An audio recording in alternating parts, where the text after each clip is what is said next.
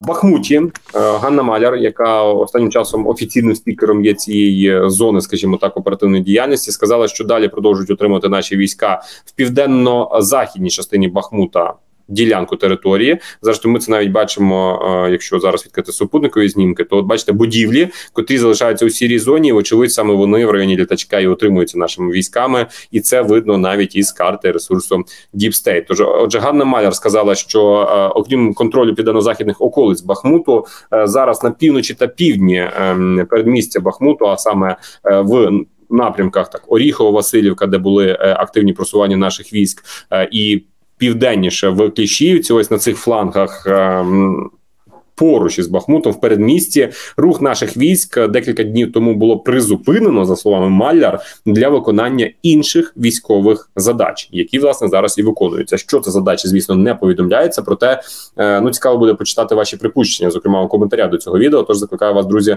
написати. А що там, як на вашу думку, починає вже захлопуватися та мишоловка, про яку постійно говорить Сирський у Бахмуті для росіян?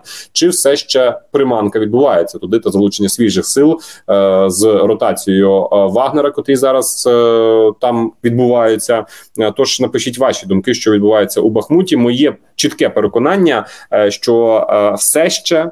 Триває ось це виманювання сил ворога, основних його резервів до Бахмуту, паралельно заволодівання кращими панівними висотами на околицях Бахмуту для того, щоб от коли вже буде проведена ротація свіжих сил, коли зайдуть свіжі підрозділи до Бахмуту, а вони вже відбуваються, вони вже заходять. Е, Пригожин пригадуєте, обіцяв, що 1 червня відбудеться фіналізація цього процесу, е, і справді там і ДШВ, тобто десантно-штурмові війська Російської Федерації з'являються, і мотострілки з так званої ЛНР приходять на підкріплення. Тому коли повністю буде проведена ротація свіжих сил, от тоді я думаю, і варто очікувати більш активних дій на цій ділянці фронту. Тим паче, що пригадаємо ставку верховного головнокомандувача напередодні, Зеленський сказав, що терміни українських наступальних дій вже визначені. Е, крім цього, вздовж каналу Сіверський Донець Донбас, е, зокрема на східній його частині, відбувається продовження деокупаційних операцій, в тому числі е, північніше Курдюмівки, тобто поближче до Андріївки, в цій операційній зоні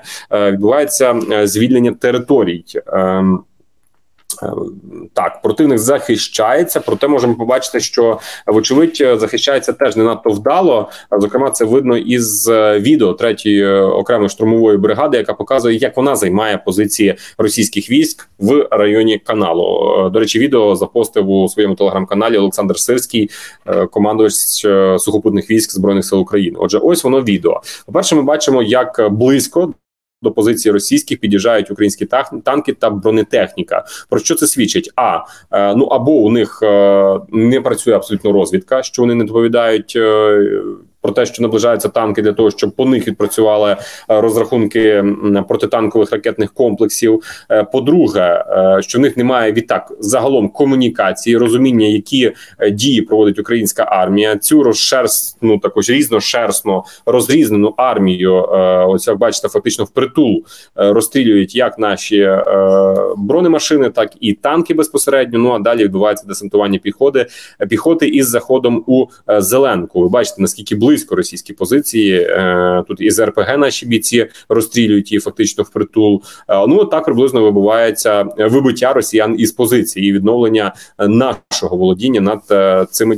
Територіями зараз ви фактично в наступному кадрі побачите, як росіяни після такого масованого Е, вогню починають утікати із позиції. Хоча не потрібно сприймати, що ось це відео є аксіомою, що саме так завжди це все відбувається. Що росіяни тікають, фактично не даючи бою е, раз до разу не приходиться, як то кажуть, е, таке спостерігати. І загалом, е, в принципі, ворог не схильний віддавати позиції без бою. Про це звітують наші бійці, зокрема третьої окремої штурмової бригади, які і показали це відео. Проте їхні такі штурмові дії, їхні деокупаційні операції, контрнаступальні операції е, у районі Кліщіївки, Андріївки, Курдюмівки.